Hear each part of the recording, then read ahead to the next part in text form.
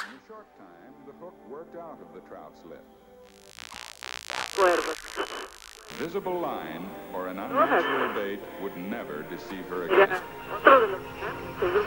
In the years that followed, she grew to be the uncontested queen of this remote pool, feeding in the slow current behind the flying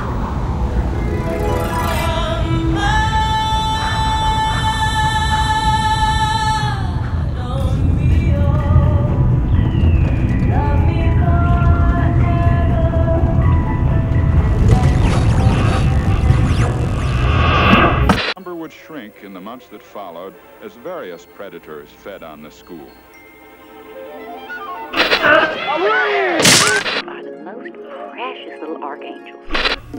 and our extended box, and the twinkle. Now this is the end of our beginning level rumble.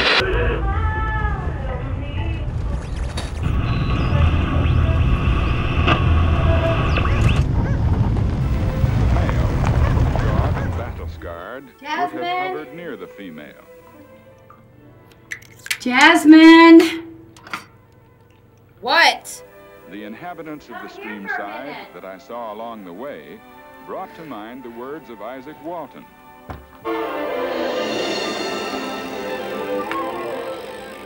What? I told you not to smoke in the house.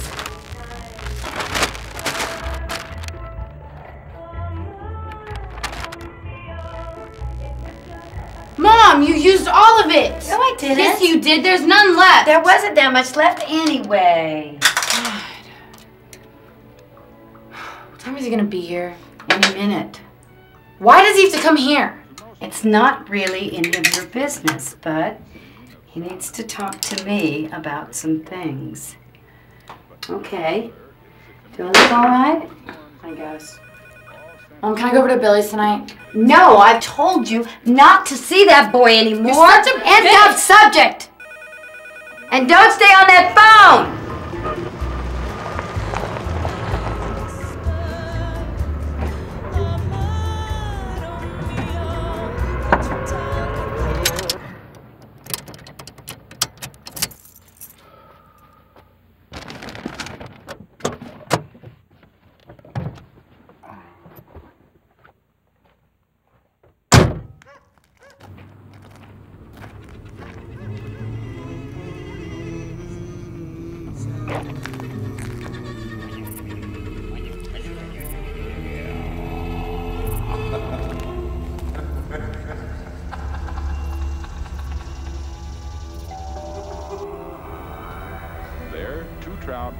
Began the annual ritual of courtship.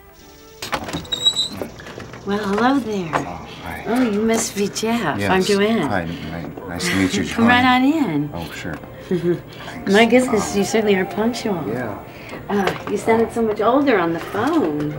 Please have a seat. thank you. Did you um, have any trouble finding the house? Uh, uh, no, uh, your directions were very good. So you're going to that party tonight? Oh, can I get you something to drink? Uh, iced tea, Diet Pepsi? Uh, no, no, no, that's okay. I'm Oh. fine. Thank you. Mom, can I go to the 7-Eleven with Garrett and Dane? No, ma'am. If they want to visit, they can come over here and stay off that phone. You're going to wear down the batteries. Sperm that would touch each Excuse me. No, I'm sorry. Are you sure I can't get you something to drink? more gravel Uh, yeah, sure, if you have a glass of water, that would be Coming nice. right up. into the stream. What is it with you and the phone today?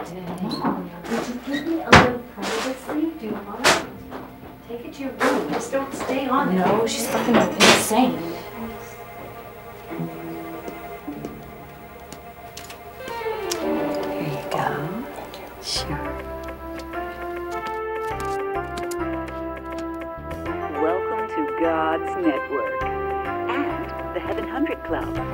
Your favorite hosts, Brother Bob and Brother Dan. Let me turn this fool thing off. So, um, you have questions for me? Uh, yes. Um, I have a list of uh, questions here to ask you. Um, the full process will take about an hour to complete. The uh, the questionnaire is uh, designed to determine the effectiveness of uh, your mental health program. and of course, all your answers are strictly confidential. Alrighty. Ask away. Uh, first off, I'm going to need your full name and uh, date of birth. Joanne Dorothy Swain. That's S W A I N. My birthday is November 15. You better not tell anybody. 1955. I'm a Scorpio. I bet you are a Capricorn. Actually, no. Um, I was born in June. I'm a uh, Gemini. Uh oh, the twins. That means you have a dual personality. I'll have to watch out for you. Okay, well, when was your uh, last visit to a mental health clinic?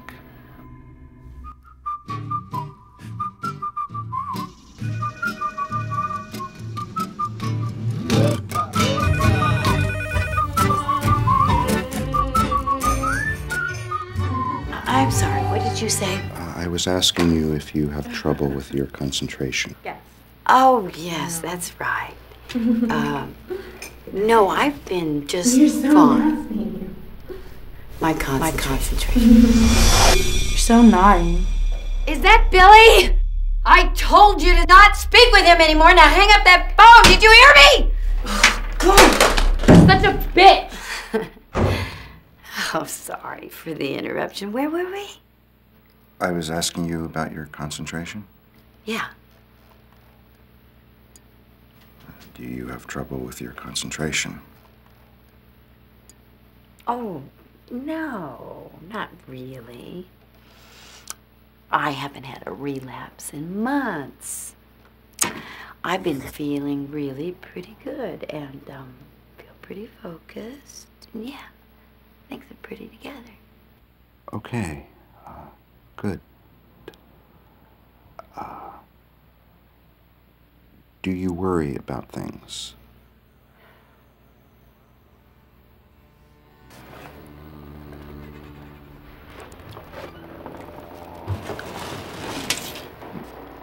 I worry that they'll take my daughter away. They've threatened to do that. Who is uh, they? Brother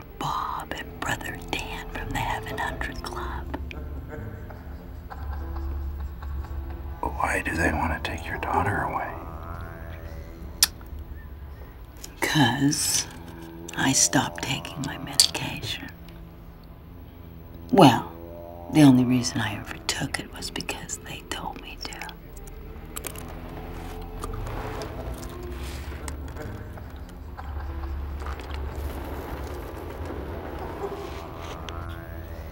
And uh, why did they tell you to take your Well, medication? I called into the show one day.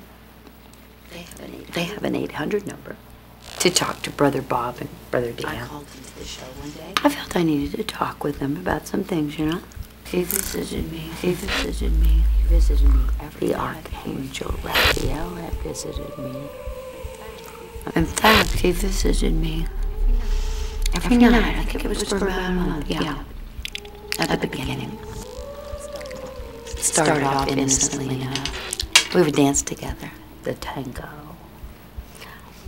And then one night, he brought his little friend, the Archangel Chamuel. That other rascal. He's the angel of love and honesty. And he taught me the rumba. Ah, they are such beautiful dancers, so light on their feet. Well, you know, the tango is a very romantic, passionate dance, a very intimate dance.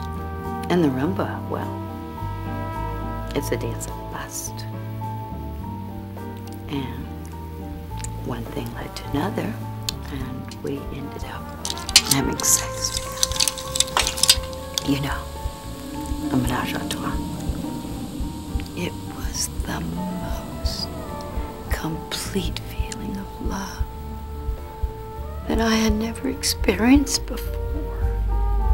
But having sex out of marriage in the eyes of the church is a sin. Well, I wasn't sure what the policy was for having sex with angels. So I thought I should talk to someone. You know, from the Heaven Hundred Club. Brother Bob and Brother Dan sent me to the doctor, and he told me to take the medication. And then they told me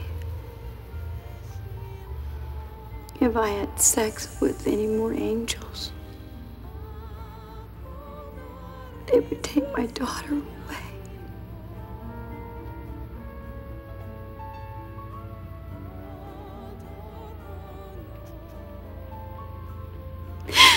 So I took the medication. And the angels went away.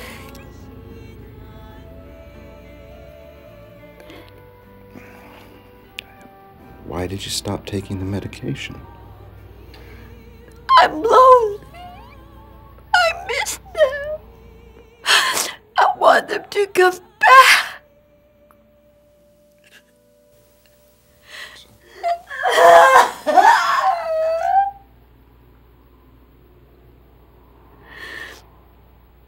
Sorry. Could you have me that box of Kleenex? Thank you.